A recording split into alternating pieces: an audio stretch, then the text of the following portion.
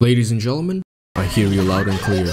I've read your comments, and one thing became abundantly clear. The editing. It needs some tweaking. So let us try something different on a new game like LEGO Fortnite. The epic survival Minecraft killer that will have you smacking stones so that you can chop trees, so that you can chop stronger trees that will let you smack stronger stones, so that you can chop and smack in a warmer biome, to eventually be able to chop and smack in a colder biome. Also that you can reenact world events for Instagram clout. If that sounds like every survival game ever made, that's because it is. Not. This is LEGO, and I love. It has Peter Griffin. Oh, I hate it. It has... It has fish. It has everything you could ever want. Fortnite is not a game.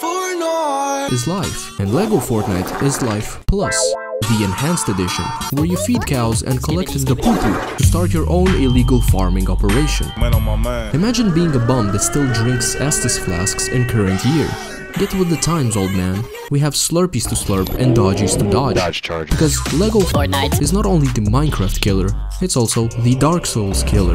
Miyazaki has been real quiet since this game dropped. For me, impossible. Shadow of the Erdtree, more like Shadow of the Palm Tree, because, uh, I open my palm and it's empty.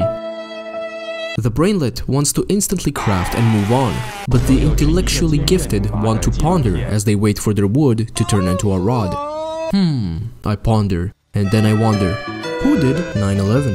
Obama, Obama, Obama, Obama, Obama, Obama, Obama, Obama. With all that being said, LEGO Fortnite. is the Minecraft killer.